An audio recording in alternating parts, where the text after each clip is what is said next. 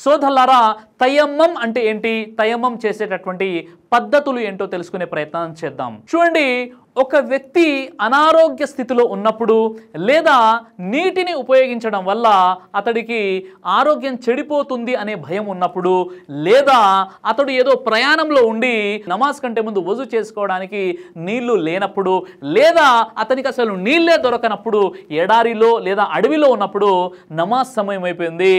అతడు నీళ్ళు లేవండి ఇక నేను నమాజ్ చదవను అని చెప్పేటటువంటి ప్రసక్తే ఉండదు. అలాంటి అవకాశం ఉండదు. కాబట్టి దైవం మనందరి సౌకర్యార్థం సౌలభం కోసం దేవుడు పెట్టినటువంటి ఒక విధానమే అది తయమ్మం అని అంటారు. తయమ్మం అంటే నువ్వు నీళ్ళు లేకపోయినా నువ్వు వజు కోసం సంకల్పం చేసుకుంటున్న విధానాన్ని తయమ్మం అని అంటారు. అంటే నీళ్ళు దొరకనప్పుడు పరిశుభ్రమైనటువంటి మట్టితో తయమ్మం చేసుకోవచ్చు. ఈ ఈ సంకల్పం చేసుకోవడాన్ని తయమ్మం అని అంటారు. బిస్మిల్లాని పఠించి మనసులో సంకల్పం చేసుకొని రెండు చేతుల్ని పరిశుభ్రమైనటువంటి మట్టిపై కొట్టి ఆ తర్వాత ఊది ముఖాన్ని తుడుచుకోవాలి. ఆ తర్వాత ఎడమ చేతు నుండి కుడి చేతు కుడి చేతు నుండి ఎడమ చేతు కింద పైన వీటిని తుడవాలి. ఆ తర్వాత తయమం అనేది పరిపూర్ణమవుతుంది.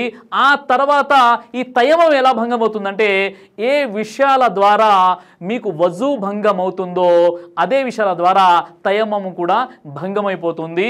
అదేవిధంగా ఈ తయమం అనేది ఇది నమాజ్ చేసుకోవడానికి గుసులుకి అంటే వజుకి మరియు గుసులు కూడా ఒకే విధమైనటువంటి పద్ధతి ఆ తర్వాత ఎప్పుడైతే మీకు వాటర్ లభ్యమవుతుందో అప్పుడు మీకు ఈ తయమం అనేది పోతుంది. వెంటనే మీరు ఆ వాటర్తో వజు చేసుకోవాలి. ఇది తయమం యొక్క విధానం. సూర్య నిశాసు నంబర్ నాలుగు అయితే నలభై మూడులో కూడా అల్లా స్మరతల ఈ తయమం పద్ధతిని గురించి కూడా తెలియసాడు.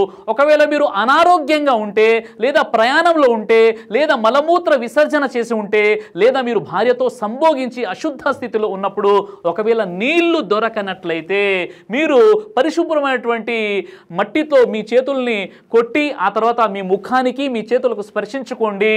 అల్లా క్షమించేవాడు అని అల్లా స్మరతల హురాన్లో తెలియస్తున్నాడు కాబట్టి ఈ యొక్క హురాన్ ఆయ ద్వారా కూడా తయమ్మం యొక్క విధానం అది ఎప్పుడు చేసుకోవాలో కూడా అల్లా స్మరత తెలియసాడు కాబట్టి మీరు నమాజ్ వదిలేటటువంటి అసలు అవకాశమే లేదు అని ఈ తయమ్మం విధానం ద్వారా మనకు అర్థమవుతుంది. కొంతమంది అంటారు మేము ప్రయాణంలో ఉన్నామండి మేము నమాజ్ చేయలేకపోతున్నాము. మరికొంతమంది అంటారు మేము డ్యూటీలో ఉన్నామండి మేము నమాజ్ చేయలేకపోతున్నాము. మరికొంతమంది అంటారు మాకు అసలు అడవిలో ఉన్నాము నీళ్ళే లేవండి ఇక నమాజ్ ఎలా చదవాలంటారు? సోదలారా ఇంత స్పష్టంగా అల్లా తెలియజేస్తున్నాడు.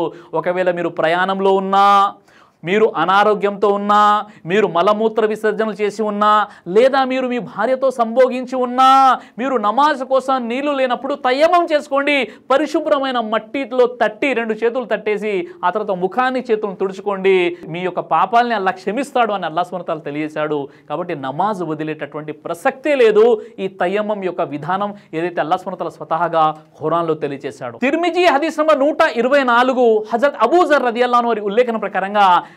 పరిశుభ్రమైనటువంటి మట్టి విశ్వాసుల్ని పరిశుభ్రపరుస్తుంది పది సంవత్సరాల వరకైనా సరే. ఒకవేళ నీళ్ళు దొరకనట్లయితే పది సంవత్సరాల వరకైనా సరే మీరు తయమం చేసుకోండి నమాజ్ చదువుకోండి. ఎప్పుడైతే నీళ్ళు దొరుకుతాయో వెంటనే అతడు తన శరీరాన్ని నీళ్ళతో కడుక్కోవాలి. ఇదే అతనికి శ్రేయస్కరం అని చెప్పేసి ప్రవక్త ముహమ్మద్ సల్లెల్లా సమర్ తెలియసారు అల్లాహ్ అక్బర్. సోదల్లారా చూడండి. ఒకవేళ మీరు ఉంటున్నటువంటి ప్రాంతంలో పది సంవత్సరాల వరకైనా మీకు నీళ్ళు దొరకనట్లయితే ఆ పది సంవత్సరాల వరకు మీరు తయమం చేసుకోవచ్చు. మీరు అపరిశుద్ధ అవస్థలో ఉన్నా మీరు ప్రయాణంలో ఉన్నా లేదా మలమూత్ర విసర్జనలు చేసి ఉన్నా వజు చేసుకోవడానికి నమాజ్ కంటే ముందు వజు చేసుకోవడానికి గుసులు చేసుకోవడానికి మీ వద్ద నీళ్ళు లేనట్లయితే ఓ అల్లా నాకు నీళ్ళు లేవు.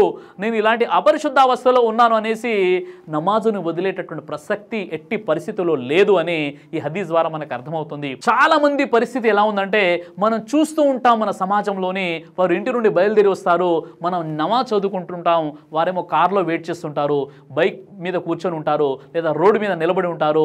ఒక వ్యక్తి ముస్లిం విశ్వాసి నమాజ్ చదువుతుంటే మరొక విశ్వాసి మరొక ముస్లిం రోడ్డుపై వేడ్చి చూస్తున్నాడు. ఏంటయ్యా నువ్వు ఎందుకు నమాజ్ చదవట్లేదంటే నాకు గుసులు లేదండి. నేను అపరిశుద్ధ అవస్థలో ఉన్నానని ఈ విధంగా చెబుతూ ఉంటారు కొంతమంది దౌర్భాగ్యులు.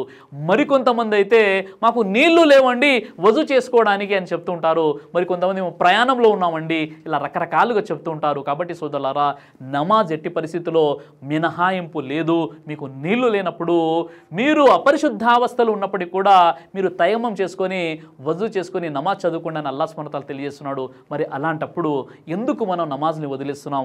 ఒక్కసారి అర్థం చేసుకోండి. ప్రవక్త వారు చెప్పారు కదా విశ్వాసికి అవిశ్వాసికి వ్యత్యాసం చూపించేది నమాజే అని చెప్పారు కదా. రేపు తీర్పు దినం రోజు దైవం మొట్టమొదటిగా నమాజ్ గురించి ప్రశ్నిస్తాడు అని ప్రవక్త వారు చెప్పారు కదా. మరి అలాంటప్పుడు జన్నత్కి చాబి అని చెప్పారు కదా నమాజ్ని అంటే స్వర్గం తాళపు చెవి నమాజ్ అని చెప్పారు కదా ఆ తాళం చెవి నీ దగ్గర లేనట్లయితే నువ్వు తాళం ఎలా తీస్తావు స్వర్గంలోకి ఎలా ప్రవేశిస్తావు కాబట్టి నమాజులు ఎట్టి పరిస్థితుల్లో వదిలివేయకండి నీళ్ళు లేనట్లయితే తయమ్మం చేసుకునైనా నమాజ్ చేసే ప్రయత్నం చేయండి అల్లా స్మృతాలు మీకు నాకు మనందరూ కూడా నమాజు ఐదు పూట్లు చదివేటటువంటి ఆ యొక్క సద్బుద్ధిని ప్రసాదించుగాక ఆమీన్ యా రబ్బుల్ ఆలమీన్